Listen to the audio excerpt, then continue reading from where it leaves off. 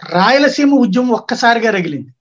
దానికి కారణమైందైతే అమరావతి పాదయాత్ర ఫలితం అనుకోవాలి న్యాయస్థానం టు దేవస్థానం అంటూ యాత్ర ఎప్పుడైతే జరిగిందో అక్కడి నుండి రాజకీయం ఆరంభమైంది. వాస్తవంగా అమరావతి అంశం మీదన మొన్నటి ఎన్నికలకి ముందు జగన్ వస్తే ఆ, అమరావతి రాజధాని తీసేస్తాడన్నటువంటి స్టేట్మెంట్లు వాటితో సాగింది.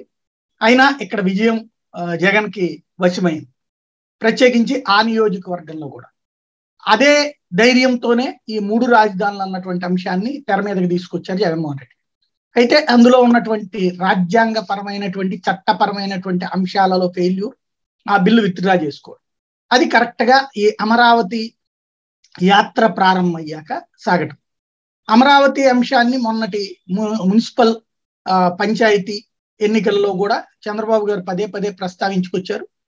రాష్ట్రమంతా తిరుగుతూ కృష్ణా గుంటూరు జిల్లాలో ప్రత్యేకించి ప్రజల్ని రైట్ చేశారు కూడా. కానీ పబ్లిక్ అయితే ఆ, ఇక్కడ జగన్కు అనుకూలంగానే తీర్పిచ్చారు. దాంతో మరింత ధైర్యం వచ్చినటువంటి నేపథ్యంలో సాగుతుంటే ఈలోపు కోర్టులో బ్రేక్ పడింది. ఇప్పుడు వచ్చేటప్పటికి మళ్ళీ అది సైలెంట్ అయిపోకుండా అమరావతి సెంటిమెంట్ని లైమ్ లైట్లో ఉంచడం కాదు దాన్నే రేపటి ఎన్నికల ఎజెండాగా తీసుకోవాలన్నటువంటిది తెలుగుదేశం భావించింది. అందుకనినే దీక్షలని కాస్త యాత్రల కింద మార్పించింది.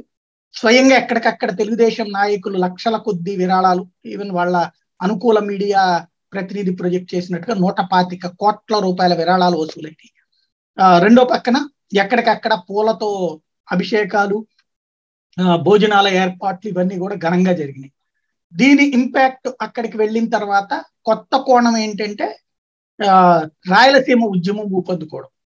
ఇంత నిన్నటిదాకా స్టేట్మెంట్లు ప్రెస్ మీట్లు సదస్సుల వరకు పరిమితమైనటువంటి అంశం ఒక్కసారిగా ఈ రోజున అనూహ్యంగా కనిపించింది ఏంటంటే తిరుపతిలో వేలాది మందిగా రోడ్ల మీద రావడం ఇందులో మళ్ళీ విద్యార్థులు పాల్పంచుకోవడం స్కూళ్ళు కళాశాలలు. అంటే ఆటోమేటిక్గా ఇది ప్రమోట్ ఎవరు చేస్తున్నారు? వైసీపీ చేస్తుంది.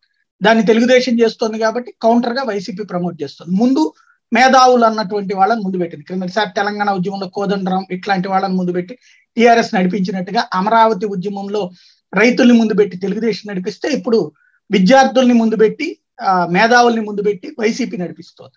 దాని ఫలితం ఈవేళ దాదాపుగా రెండు మూడు గంటల పాటు తిరుపతి నగరం అంతా స్తంభించిపోయేంత ట్రాఫిక్ ఆ పెద్ద ఎత్తున జనాలు ఆ విజువల్ చూస్తుంటేనే అర్థమవుతుంది ఏ స్థాయిలోకి వచ్చిందన్నట్టు. అంటే మళ్ళీ ప్రాంతీయ ఉద్యమాలు లేదంటే ప్రాంతీయ ఆకాంక్షల ఉద్యమాలకి ఊపిరిపోస్తూ సాగుతున్నటువంటి వ్యవహారం ఏ దశకి చేరుతుందనేది చూడాలి.